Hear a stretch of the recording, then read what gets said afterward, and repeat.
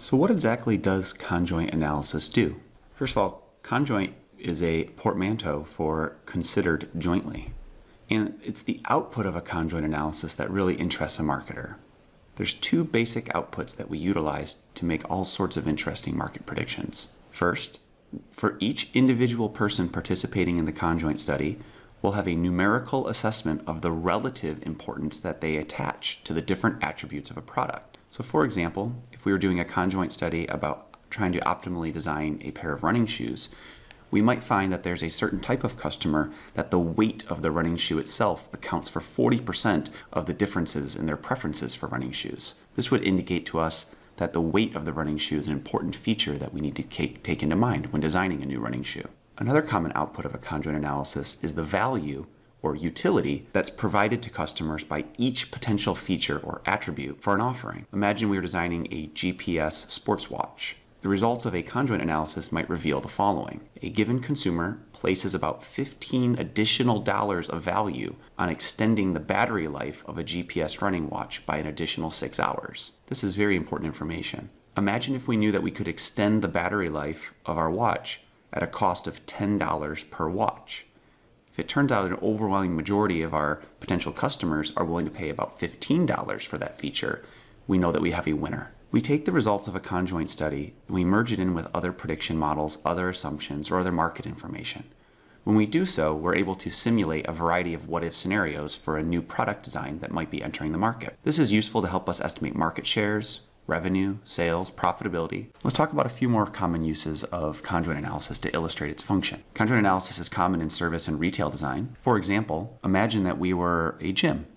To increase our number of monthly memberships, should our new fitness centers have an additional dozen elliptical machines or should it add a dozen new treadmills? Notice because of the fixed constraint retail space of our gym, we can't do both. We have to make a trade off between these two options. Or about designing a membership. Imagine a private golf course package for a membership fee of $1,000 that gives people access to private courses that they otherwise would never be allowed to play at. The question we might ask is should we expand the number of private golf course out, uh, offerings from 10 to 15 or should we guarantee our members that they get at least one additional weekend tee time for the existing club? Notice that we're assuming that it would cost us more money to offer more private golf courses, or it would cost us more money to be able to offer an additional weekend tee time, but we're not going to be changing the price. Product design is perhaps the most common application of conjoint analysis.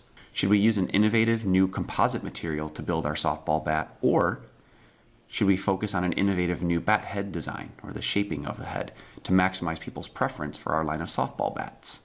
Again, directing our attention for a particular feature at a particular level, probably at the same price. This is a common use of conjoint. We can even use conjoint studies to optimize the design of actual events or experiences, although this is a little less common. For example, there's an outdoor running relay event called Ragnar. To get people excited and involved, they offer a variety of other ancillary activities, such as music, dancing, grilling marshmallows, etc. Given that Ragnar doesn't have the resources to offer everything for their events, which combination of features would make people most compelled to want to continue to participate in Ragnar? All these instances, there's trade-offs that have to be made, and the consumer has to consider these things all simultaneously when making a purchase option. Perfect recipe for conjoint analysis. Before we dive into an example of conjoint analysis, let's talk a little bit how it's different from other marketing research techniques. Sometimes people ask, why don't we just ask people directly what attributes are most preferred or most important to them when we're designing new products? The answer to that is without asking consumers to make trade offs between different features, they tend to say that everything is important to them, and the data that we collect really loses meaning, gain meaningful insight. Consider this example. Imagine that we had four different attributes about our gym that we wanted to ask people how important they were to them. How important the quality of the classes are, the atmosphere of the gym itself, the quality of the cardio machines, and the price. And as you may have done in surveys in, in the past, perhaps we ask that on a nine point, not at all important to extremely important scale, or seven point or five point. Before we even collect the data, we should be able to anticipate what the results will probably look like.